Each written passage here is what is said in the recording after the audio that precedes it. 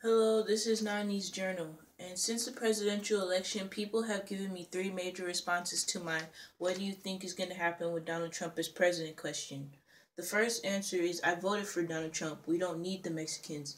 So this is me asking the question, and this is their response to the question. And this is my reaction to their answer at the bottom.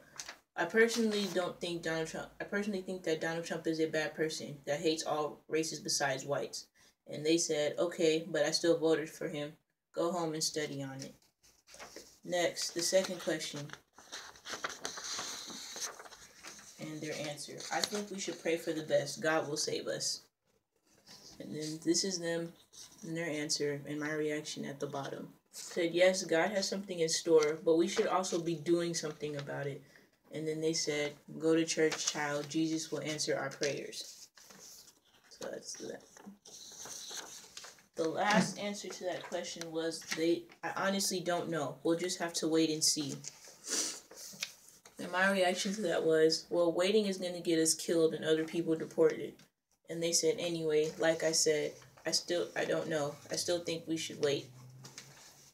And for my next one, Friday, December 9, 2016.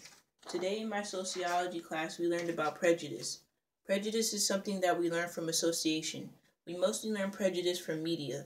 Labels mainly lead up to prejudice. They explore how labels lead to selective perception, causing people to see only certain features of an object or situation while remaining blind to others.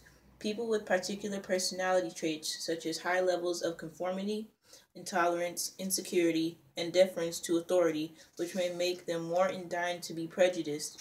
Those are just some things I know about prejudice. I'll see you next week.